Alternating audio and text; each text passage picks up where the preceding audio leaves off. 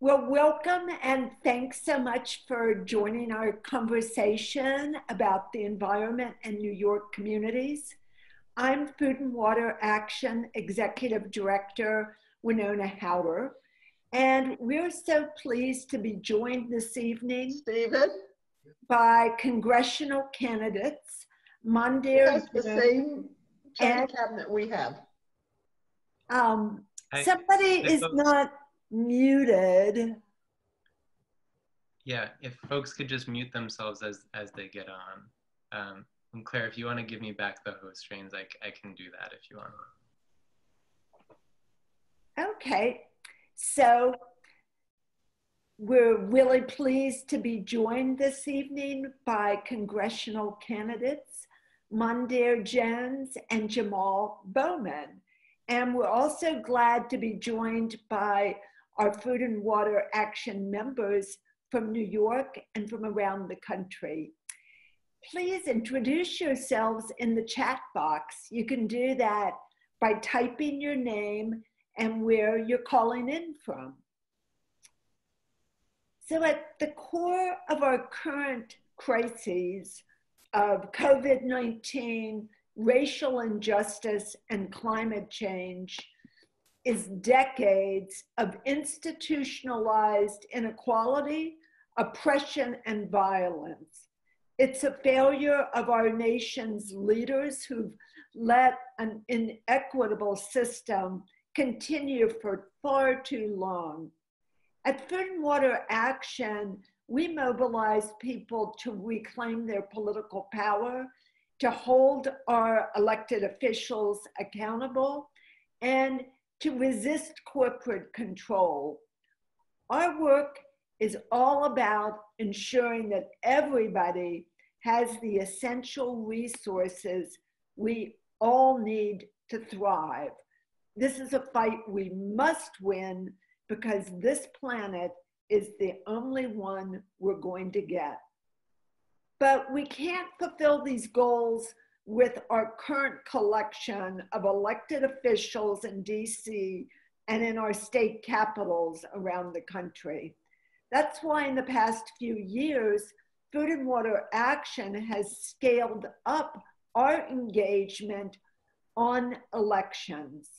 We need true allies and movement leaders in positions of power. This is the only way we're going to stop catastrophic climate change and ensure that everyone has clean, affordable public water.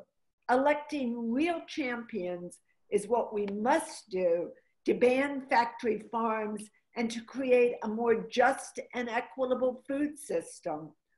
Our political work is continuing to grow, and we are proud to have helped build our movement by electing movement leaders to state and local offices in New York, in Pennsylvania, and in California. In 2020, we're working to elect candidates to local, state, and federal offices around the country. We're going to keep oil and gas drilling out of environmental justice communities in California and Pennsylvania. We're going to move towards a just and sustainable food system in Iowa. Out a national renewable economy by winning one election at a time. Just last week, we supported and helped elect a wave of new progressive, mostly female climate champions in Pennsylvania. We also successfully defended incumbent champions Summer Lee and Danielle Friel Otten. They both faced primary challengers who were bankrolled with hundreds of thousands of dollars from the fossil fuel industry because they had had the audacity to stand up for their communities against pipelines and fracking wells. Thank you to everybody on the call tonight who helped us in that fight. We're proud to endorse Mondaire Jones and Jamaal Bowman because they are leaders of our movement who will fight for what is right in Congress. Both of them will work hard to create millions of well paying green jobs through a new Green Deal that bans fracking and all new fossil fuel infrastructure. They will check the power of the agribusiness industry that is responsible for exposing thousands of workers to COVID 19 and making the, the next pandemic more likely. They will oppose water privatization because both of these candidates are going to fight for what's right. Mondaire Jones is running to represent New York's 17th congressional district, which takes in the lower Hudson Valley counties of Rockland and Westchester counties. Mondaire has been leading his community since he fought against inequitable school funding as a high school student. He's running in a crowded candidate field to fill the seat vacated by longtime Congresswoman Nita Lowey. Mondaire stands out as the clear progressive, and he has a real shot at winning. Jamaal Bowman is running to represent New York's 16th congressional district, which takes in the Bronx and Westchester County. As a school principal, Jamaal has fought for teachers, students, and families for 20 years. Now he's running for Congress to fight for working families in his community. Bowman is challenging Con- Congressman Eliot Engel, who has taken thousands of dollars from corporate PACs and has largely ignored his constituents. Engel has faced public ridicule recently for holding up in his home in the DC suburbs while the pandemic raged in his district where COVID first began to take its toll in New York. So now we're going to move into questions. We're going to start with questions to both candidates. And you each have three minutes to answer. Tell us why you're running and why food, water, and climate issues are important to you. Who's Mondaire, first? do you want to 16 go or first? 17? Start with 17, work backwards. Sure. That's that's that's fine by me. Uh, first, let me just start by thanking all of you for joining uh, on an evening, on Monday evening, to hear from a candidate who most of you have not met, uh, at least in person. But I am grateful to see so many familiar faces, uh, including you, Jamaal. I'm really proud that uh, that you're running in this race as well. And look, you know, I'm running for Congress because for me, policy is personal. I grew up in Section 8 housing and on food stamps, and my young single mom still had to work multiple jobs just to put food on the table for us. Uh, so I know how important it is that we have uh, a living way, a minimum wage that works for everybody in this country at the federal level. She got help raising me from my grandparents. My grandfather was a janitor, and my grandmother cleaned homes. And when daycare was too expensive, she took me to work with her, and now I get to run to represent the same people whose homes I watched my grandmother clean growing up. Uh, and when presidential, former presidential candidates like Elizabeth Warren uh, talk about providing universal child care in this country, uh, that's a fight that I want to join when I get to Washington. I'm part of a generation of people who are going to inherit a planet that will be devastated by climate catastrophe because people who have been in office for a really, really long time have failed to act with the kind of urgency that that issue requires. Uh, I'm the only candidate in my race who is talking about averting climate catastrophe in earnest the only one who is advocating a Green New Deal that is not watered down uh, by you know some modifications that they've been offering, modest proposals uh, to to deal with this existential problem that we have, uh, and we have to go further uh, than what other people in this race, in my race, have proposed. We have to do, as you mentioned, Wenonah, a complete ban on fracking and offshore drilling and the exporting of of crude oil. I mean, we, we have to dream really big and fight tooth and nail for it to ensure a livable future. Uh, you know, I, I grew up living with food insecurity. And so I, it, is not an abstract concept for me. Uh, but with the help of an entire community, I was able to make it from those humble beginnings uh, and, and getting a quality public education, frankly, in East Ramapo that doesn't exist anymore for too many public school students 97% of whom are black and brown, 80% of whom, like myself, are eligible for free and reduced lunch. Um, I made it to Stanford University, got increasingly involved in progressive causes, uh, worked in the Office of Legal Policy at the Department of Justice under Obama uh, on criminal justice reform. It didn't take a national outcry for me to all of a sudden be talking about criminal justice reform. I've been centering that from the beginning of my race. Uh, then attended Harvard Law School, and with my spare time, went into Roxbury and Dorchester and provided free legal representation to people who looked like me and couldn't afford representation. Uh, made it to uh, work at a law firm in Manhattan for a number of years, co-founded a nonprofit that teaches professional skills to underserved middle school students uh, in three American cities, and more recently have been a lawyer for Westchester County. Uh, and, and, and the issues that you care about are my issues. Uh, these are issues uh, that are existential for too many folks uh, you know, when we think about food insecurity, I think of the fact that one of the reasons for the delay in school closures was because 114,000 kids are homeless uh, and also rely on those public schools to provide them two to three hot meals during the day. Same is true right here in New York 17th Congressional District, in Westchester, and in Rockland counties. Uh, and so I've really centered that the kinds of structural changes that would actually improve the lives of everybody and not just a subset of the American population, even as my opponents talking about just getting rid of Donald Trump, which it is not enough to do. Because even before Donald Trump, people were really hurting. Uh, and that's why I'm running.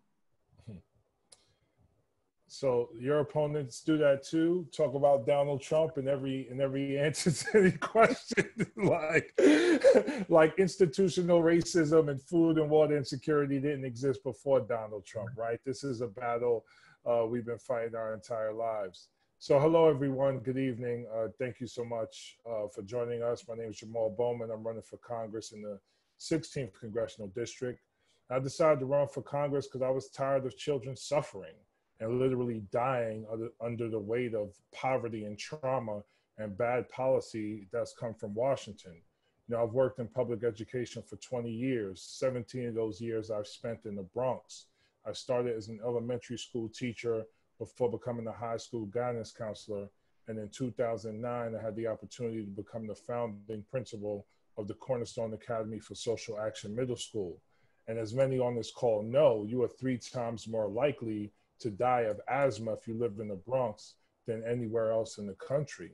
And, and this issue didn't become salient for me until I had a student uh, in middle school who suffered a severe asthma attack at home. And because her mom didn't know CPR, uh, she couldn't bring her back to consciousness. And she had to wait. The mother had to wait for the EMS to show up.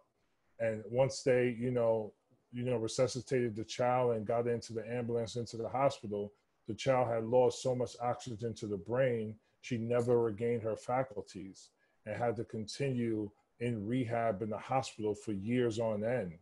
I didn't realize the impact of asthma until that horrible occurrence happened. And when you look at what's happening with COVID right now, you know, the disproportionate number of Black and Latino uh, individuals suffer from COVID because they suffer disproportionately from environmental racism and upper respiratory illness. Uh, it's what we're seeing throughout our district, particularly in the North Bronx, Yonkers, Mount Vernon, and New Rochelle. These are communities that have been under resourced, that have been, that have been neglected, and are suffering disproportionately from this illness, as well as institutional racism and wherever it exists. Um, so in our school, you know, we did something that some would call innovative. I hired a horticulture teacher. And the goal of that teacher and the job of that teacher was to teach our students the symbiotic relationship between themselves and the environment. And through that class, we started a local farming program where every summer we grow organic fruits and vegetables uh, for the community. And it's this type of thinking and this type of innovation uh, that we not only need in schools, we need it throughout our communities. You mentioned uh, factory farms, which are devastating the environment uh, across this country and around the world. So I support family farms and local farming uh, and investments there very strongly. Um, I also want to give a shout out to Jennifer Scarlett from North Bronx uh, Climate Justice. Uh, she was one of the first people I reached out to when I decided to explore a run for office. I wasn't quite there yet. Uh, this is before I met Justice Democrats. This was at the very beginning. And when I saw her work, I asked her, you know, I met her and I asked her to be like a like a confidant, like a guide, like an advisor, someone to help me understand, you know, what climate justice looks like in this district in particular. And we drove around. We drove around the entire district. I took her to the Northeast Bronx. We went to Co-op City. You know, Co-op City, which is an amazing uh, cooperative in terms of low cost housing. You know, a, it's a great city, but it also has um, a power plant burning fossil fuels right there next to Co-op City, which is providing energy, yes, but it's also why Co-op City has some of the highest asthma rates uh, in the entire city. So there's a lot of work to do. As you know, we're vulnerable on both sides, on the Henry Hudson side as well as the Long Island Sound side. There's a lot of work to do there. Uh, our school is located in the Northeast Bronx, which is a food desert, and children deal with food insecurities on a consistent basis. So I'm excited to, you know, start this work with all of you. I look forward to seeing Mondaire on the other side in two weeks after we bring this home, baby. We are so close. I'm so excited. I'm so fired up. You know, we've run an exciting uh, campaign. Mondaire has as well, and looking forward to our work together. Great answers. So I have a follow-up question for both of you. You've both touched on it. Obviously, this conversation is taking place at a time that our country is in a major crisis. Not only do we have a racist president, but we have systemic racism in our country. What do you think needs to happen right now, today?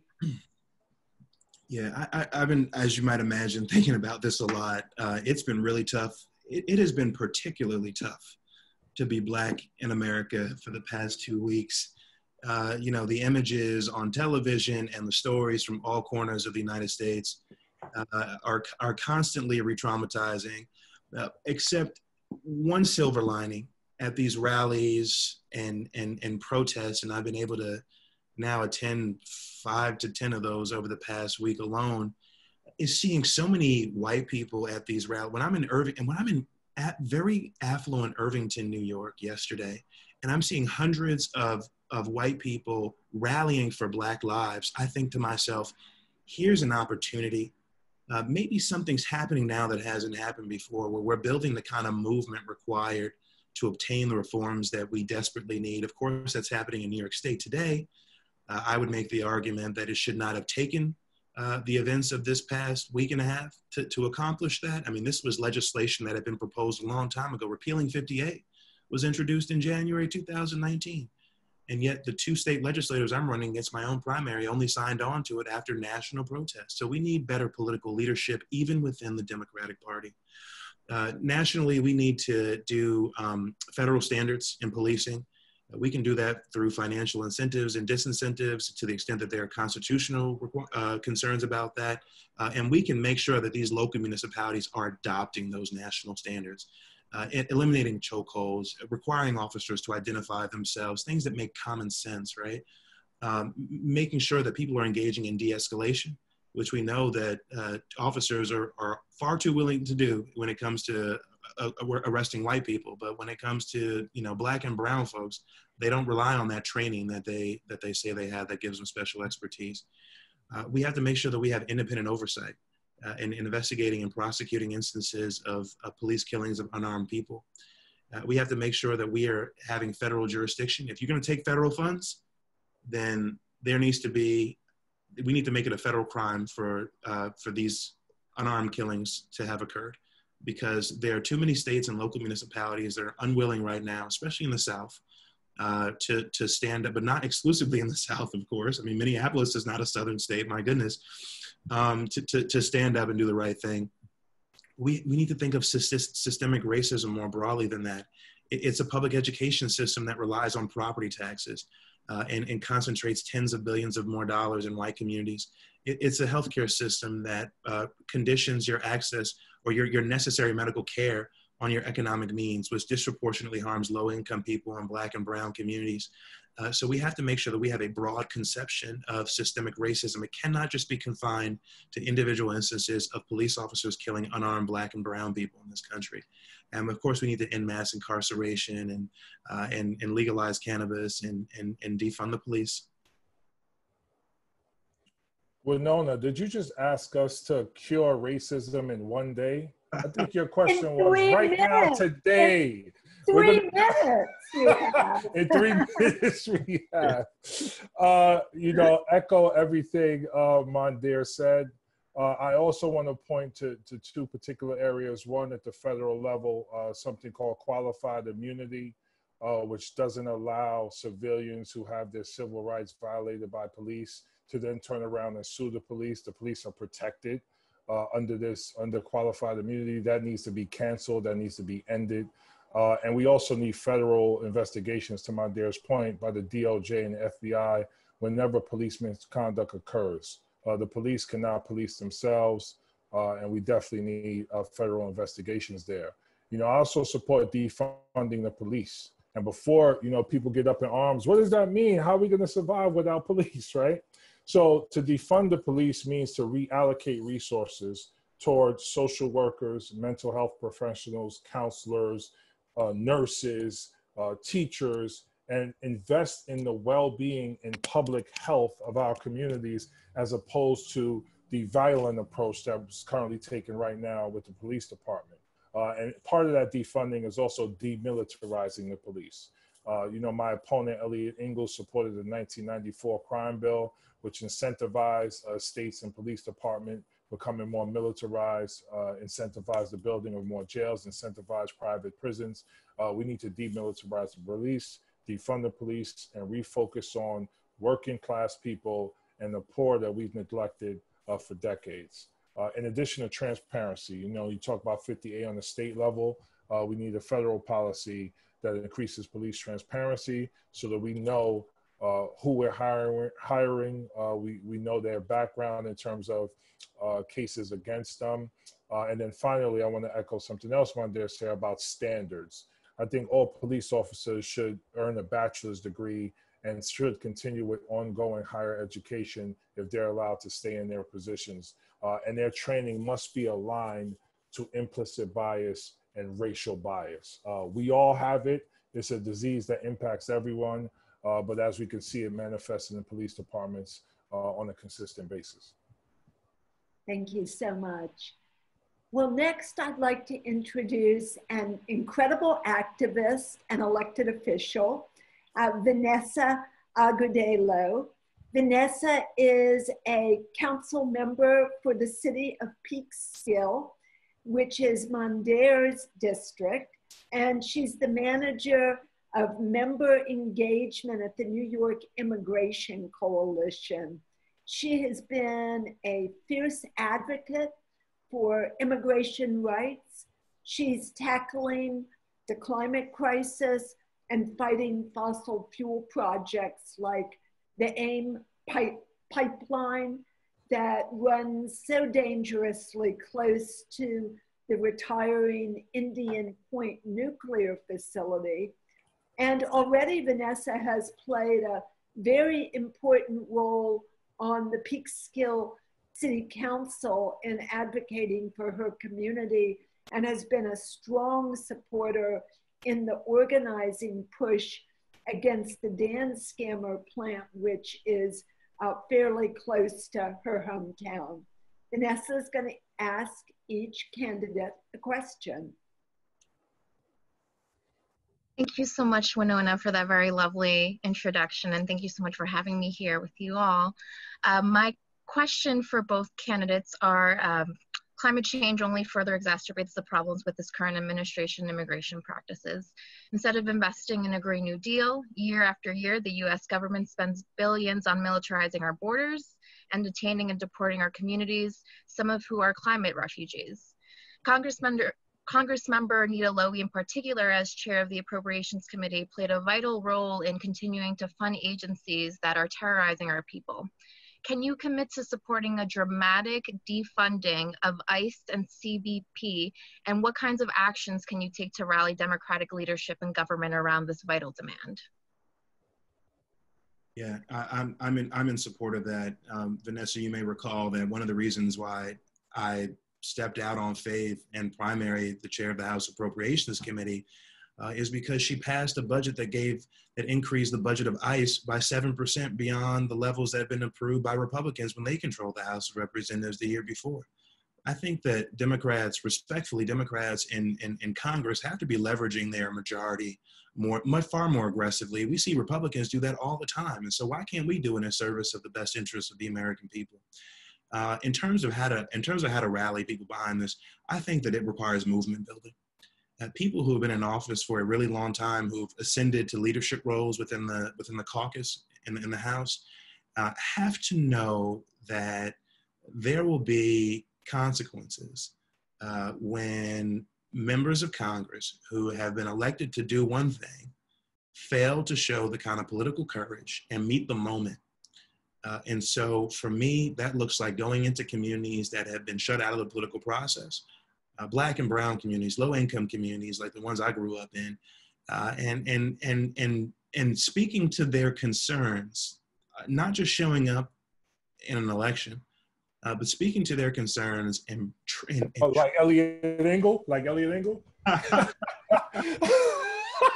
Sorry, my bad. Don't mean to interrupt. Go ahead. Uh, and and bringing, bringing, people into the fold to to to make sure that we are are building upon this movement, running people for office. My goodness, and supporting candidates who are going to do the right thing, and again, holding people account. That means that we can't, you know, scoff at primaries primaries are a good thing. Primaries are healthy for the democratic process. If you're worried about a primary, that means you're not doing the right thing.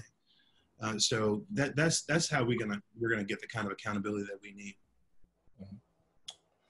Yeah, uh, so we we've been calling for the abolition of ICE uh, from the very beginning, and a dramatic decrease in the funding of border control uh, from the very beginning, and releasing children from cages and bringing families back together and you know opening up our arms to those who are seeking asylum in our country. At worst it's a civil violation. It's not a crime when you're seeking asylum here especially when you consider how much we've destroyed political and economic systems in central and south america and all across the world i mean as we know our military is one of the major contributors to global climate change and one of the major contributors to the refugee crisis uh, we see all over the world. So it's time for our country to be bold and to implement a 21st century Marshall Plan and lead on humanitarian grounds to rebuild everything we've destroyed over the last uh, several centuries. And to Mondaire's point, there are so many people who are impacted by this who are not in the fight as of yet.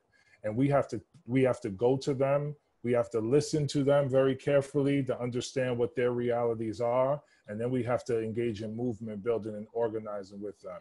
It's similar to the work that I've done in education, uh, pushing back against standardized tests that were harmful to kids, uh, fighting for increased education funding, uh, and fighting to flip the border regions to make it more progressive. Movement building is going to be key because we have to hold elected officials accountable, Democrat and Republican, across this country. So we're not just going to be move, um, building movements in the 16th and 17th it's going to be happening across the nation and just centering human rights equality and justice for all regardless like just keep it simple it's not that complicated but obviously when capitalism gets involved uh, it gets complicated for some people but for us it's about centering human rights equality and justice for all thank you so much yeah thank you Thank you. And I just want to note how really exciting it is that we have two such amazing champions who are running literally in congressional districts next door to one another. And I can just see, because I know you both have an excellent shot at winning your elections, and it's going to be just thrilling for you to be able to work together as part of the New York delegation.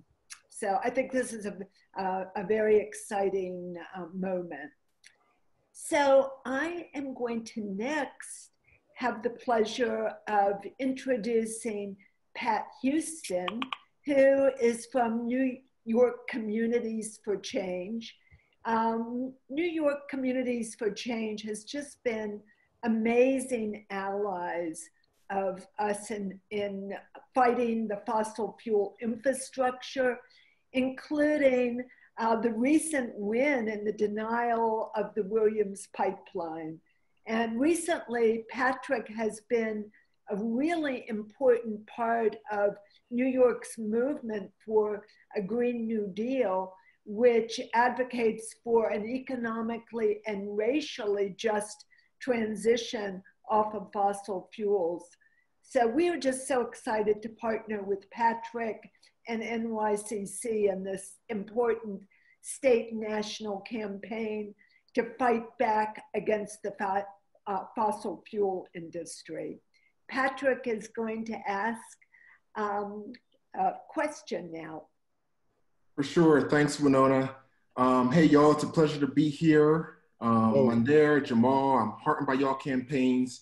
Um, y'all may know New York Communities for Change has endorsed uh, both of your um, campaigns.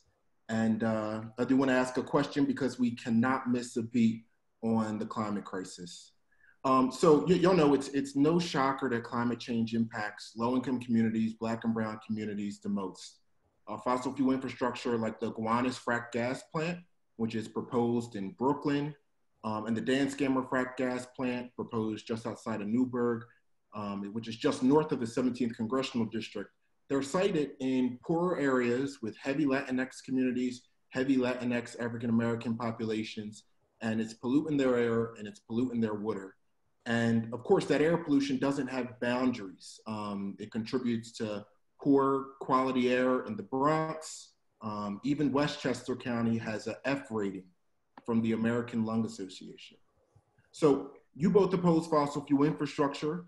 Um, I want to ask, can you speak more to this issue and how we can protect areas in New York and across the country from environmental racist projects like the Danskammer power plant, like the Gowanus proposed power plant? Yeah. Um, it, you know, you know, so I support a Green New Deal, which calls for a complete ban on so many of this project. In fact, on all fossil fuel infrastructure. I mentioned earlier a ban on fracking and offshore drilling and exporting crude oil. But we have to, and, and, and I'm also reminded of the fact that in Peekskill, which which Vanessa represents, you know, the, the, the rate, you have a large thoroughfare located there. These are all, every single decision that is made at a policy level is personal and has environmental impact. Uh, the, the rate of asthma is four times in Peekskill what it is in neighboring Somers. Uh, and it is because you have an incinerator in the vicinity, you have this large thoroughfare. Uh, so these are all issues of environmental justice uh, as a policy matter beyond just ending fossil fuel infrastructure, I think that we need to be doing environmental justice analyses whenever decisions like this are being made. And I think that that should be attached to legislation. When we, we get, we get the fiscal impact, uh, that's, that's scored by a number of independent organizations, including the Congressional Budget Office. Let's also talk about the environmental justice implications, environmental racism implications of any number of these decisions. Uh, and, and I think that should, that should be sort of a first principle whenever anything is being considered in, the, in the area of, um, of, of locating any kind of infrastructure anywhere. But ultimately, my goal is to completely end fossil fuel infrastructure and, and completely decarbonize our economy, making sure that we are investing in, in green infrastructure and that those jobs are going to the people, largely black and brown and low income people who are being displaced from a decarbonizing economy, including right here in New York 17th congressional district. I have projects in mind.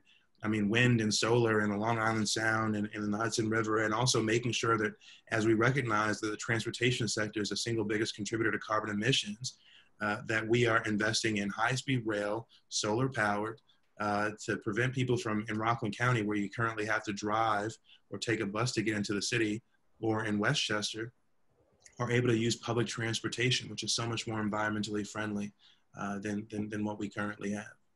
And of course, we have to make sure that we are standing as Congress members with the activists, uh, not just writing letters on letterhead on congressional letterhead, but standing at press conferences and calling other elected officials and making it clear where we stand as as elected officials using our Billy pulpit, I think is super important. Yeah, you know, I'm inspired by you know what happened with the Keystone pipeline and how activists and organizers protested that days on end and stopped that pipeline uh, from being built. And I think organizers uh, across the city, across the state, across the country, and activists have to come to con- together and continue to do that uh, whenever another pipeline is introduced, particularly in communities of color. And I think this moment where we're in right now, you know, coming off of COVID, coming off of the protests happening across the country, and to Mondaire's point earlier, this is an opportunity to look at institutional racism in all its forms. So not just police brutality, but environmental racism and how it exists and how it impacts our communities. Those are conversations we're happening, uh, we're having already uh, in our district with regard to NYCHA housing and pushing for a Green New Deal in public housing to make sure we retrofit NYCHA and to make sure we build new social housing in alignment with uh, the net zero carbon emission goals we set for ourselves over the next 10 years. Because the conversation has shifted, it allows us to bring more people into the conversation about environmental racism in all its forms and wherever they, it exists. So now that that mobilization is happening, it's more gives us more of an opportunity to push back against things being built in the Bronx and uh, throughout Westchester as well. Thank you. I have a question for you, Mondaire. You've been an outspoken, um, you've outspokenly said that there are problems with uh, carbon taxes.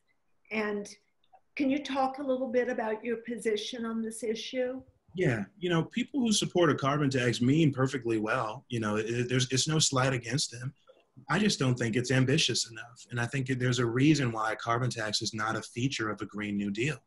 Uh, we cannot carbon tax our way out of climate catastrophe. We've got 10 years left before irreparable harm, according to that UN IPCC report. It's why I'm calling for federal mandates to end fracking, offshore drilling, exporting crude oil. I also think of myself as someone who grew up in a low income house. And, you know, the idea that um, BP and other oil, uh, oil giants who support a carbon tax, which should be, you know, just sort of cue people in. Well, okay, clearly they feel like this is something they can live with.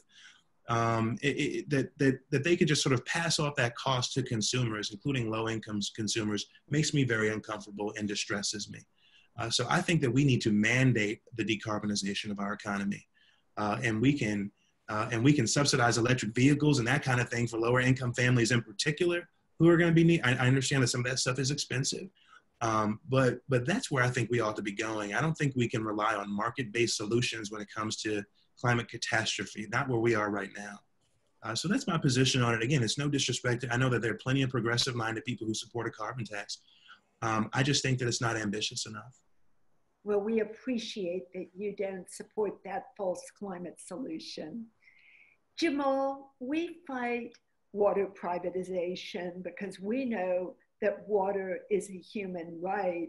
And we know that providing safe and affordable water for everyone requires federal funding. You've been an advocate for strong public schools, and we see fighting against water privatization and the problems ed- of education privatization as being very, very similar. Uh, can you talk about this? Yeah, it's it's water privatization, it's privatization of public schools, it's privatization of our health care, it's continued privatization of our utilities. Uh, we're pushing back and fighting against privatization in all its forms it's crazy that we're talking about water in this context. Like it's water, like it's it's it's, right there, it's available, uh, and we need to make sure it's clean and safe to drink and, and all of those things. But yes, it, it's it's the same the same group of people, uh, the hedge fund billionaires, those on Wall Street. Those are the same the same people who are trying to privatize water have worked to privatize uh, public schools through charter schools uh, they they work to privatize uh, the healthcare industry through insurance. uh, th- this is what they do. Um, and we've been able to fight and defeat them in the public school sector uh, by having a moratorium on charter schools across this country supported by the NAACP. And I don't think there's any way we're going to allow them to privatize water under any under any circumstances. Um, it's it's crazy that there's lead water in Detroit, um, in Flint, excuse me, and, and we all know about uh, are aware of that. But there's lead lead in the water right here in the Bronx, in our schools in the Bronx, and that didn't get the national attention uh, that it, it, should have deserved. So uh, yes, it's it's privatization is all its in all its forms is what we're pushing back up against. Great. Mondaire and Jamaal, we'd like you both to speak for three minutes on how people can learn more about your campaigns and get involved. Yeah, uh, you're already doing it. You, you, you're joining this Zoom event uh, and and hopefully you like what you've heard. Uh, if you want to learn more, please do visit my website. It's mondaireforcongress.com, M-O-N-D-A-I-R-E-F-O-R Congress.com. There's also a volunteer sign-up sheet at the bottom of the homepage. That is the most important thing right now, is to have your help phone banking and texting and friend banking, which is a form of relational organizing I became familiar with recently where you go through your contacts, you use the Reach app, which I think was really leveraged successfully by AOC, who has endorsed both of our campaigns as of this. Yeah, time. boy. Yeah, boy. Shout out to AOC. um, and, uh, and, and, and call people in your network who are Democratic voters in, uh, in this, in my district and, and make sure you tell them that you're supporting me because that is so much more personal than a mail piece that they would receive from a candidate they've never met or even a television ad that's on air right now. Uh, and so I need your help doing that. It's how we're going to be victorious. Uh, I, I, heard yesterday that Mr., my billionaire opponent, Mr. Schleifer, has a poll that uh, that shows me surging past him. Uh, and so, you know, we we can accomplish this on June 23rd. In fact, right now, if you're in Westchester, you've already been voting by absentee. Rockland voters have just started to receive their absentee ballots. Uh, so there's a real opportunity and we cannot miss it. This is a moment when people I'm seeing all over social media and in my private conversations are saying that we need more people like you in Congress. In the midst of racial unrest, we need your leadership. You can't predict stuff like this in our politics or in American history, but you certainly have to use it as an opportunity to educate people about why it is that you uniquely are the one who should be representing that district and I'm grateful for the opportunity and hopefully grateful for your support. We are two weeks away. We are two weeks away. Like I can't believe I'm saying that. It's it's it's incredibly humbling. It's incredibly exciting. I feel like our campaign is ascending and, and hitting a crescendo at the perfect time. You know, being here tonight with Mondaire and, and just looking aesthetically at how different you know Congress would look uh, in this state if the two of us were able to pull out this victory. Um, Eliot Engel gave us a, an amazing gift from God last week uh, with his hot mic moment, um, and we've taken advantage of it on the inside of the campaign, and we're and we're running with it. So we're we're two weeks away. Um, we need everyone, everyone, to get involved in some way, shape, or form. Uh, the, the, the voters have been excited about us from the very beginning. They're even more excited now because they're clear on where Eliot Engel stands. He wasn't here during the pandemic.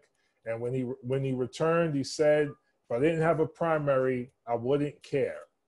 So that tells you all, all you need to know about my opponent. We're very excited. We're two weeks away. BowmanForCongress.com. Click on events. Help us with phone banking, postcard writing, we're going to be doing some lit drops over the next uh, couple of weeks. But we're right here. Early voting has started. Um, you know, the early polls open, I think, this weekend. Uh, and uh, yeah, you know, June 23rd is the final day of voting. And this, this, you know, we could we could make history, knocking out a 31 year incumbent uh, who's lived in Maryland for 27 years and uh, really pushing a progressive agenda in all its forms. And my background, Mondaire's background, like we we're gonna fight tooth and nail for the rest of our lives to center working class people and the poor. That's what we're all about. That's never changing, no matter what. So support us, help us get there so we could turn Congress upside down in a good way. Thank you so much. I want to turn it over to Sam Bernhardt now, who's the political director at Food and Water Action. Hey all, um, thanks so much for hanging with us through some technical difficulties. Um, to our members who couldn't get on, on the line, um, we've heard from 20 or, uh, or so folks who, who couldn't get on. Thanks for watching this, uh, the, the, the, the, taped version of this. Um, I just wanted to quickly uh, tell folks uh, how Food and Water Action is supporting these amazing candidates um, so we have um, the people power. Um, Jamaal, Mondaire, NYIC Action, um, New York Communities for Change, and Food and Water Action, we're all here because we believe that the way to change um, our, our lives um, is to build people power. our opponents, they have corporate money. And the bad news is we can't use that people power like we usually do to have lots of in-person conversations through door knocking and canvassing. Um, but the good news is, um, well, as you all just heard, um, the campaigns have developed their own ways to um, to reach out to people even in the middle of a pandemic. Um, and Food and Water Action isn't um, allowed to to work with them on uh, on on those outreach um, mechanisms. Uh, but uh, uh, what what our team is doing is um, so we've developed a team of uh, food and water action volunteers who've been hard at work handwriting letters to voters, asking them to to to, to support um, uh, these amazing candidates. Um, handwritten letters aren't just uh, socially distant electioneering tactics. Research actually shows that they work. That there's something about getting a letter um, uh, that we know someone took the time to sit down and write um, that makes us more likely to vote and, and to vote for them. Um, and uh, Nona mentioned our work in Pennsylvania. We, our, our team of, of volunteers wrote about 2,000 letters in support of um, one of our endorsed candidates in uh, Pennsylvania, Summer Lee, um, who uh, won her reelection last week. And we're on pace to far exceed that amount of handwritten letters in our outreach to New York voters um, for this upcoming primary. So thanks to everyone who has gotten your writing muscles in shape to help elect these climate champions. To join the team, um, you can sign up at the link that uh, Santosh, the real Santosh, again, technical difficulties. It seems everyone is named Santosh Nandabalan um, on, on the third side. But uh, um, uh, one of the Santoshes will will have the, the, the sign up link, and um, uh, you can join the team by signing up there. Um, and we're having our next letter writing training and, and letter writing uh, call where we just write letters together this Thursday at 7 p.m. So you'll get information about that as well. Thank you very much.